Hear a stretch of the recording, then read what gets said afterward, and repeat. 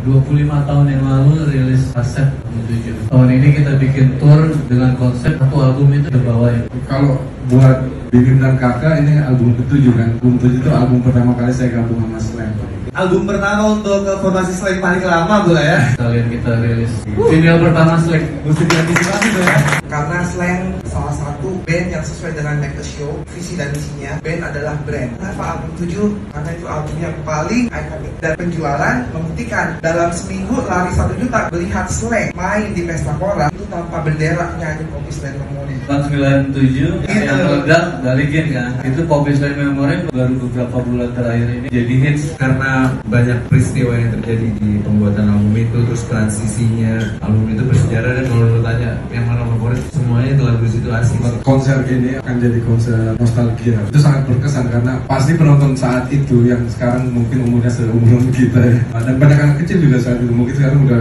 20 tahun. Itu pasti ini akan jadi momen buat mereka untuk bernostalgia. Terima kasih udah dikasih jalan untuk bisa merayakan 25 tahun album 7 ini album bersejarah buat kita lagi informasi ini.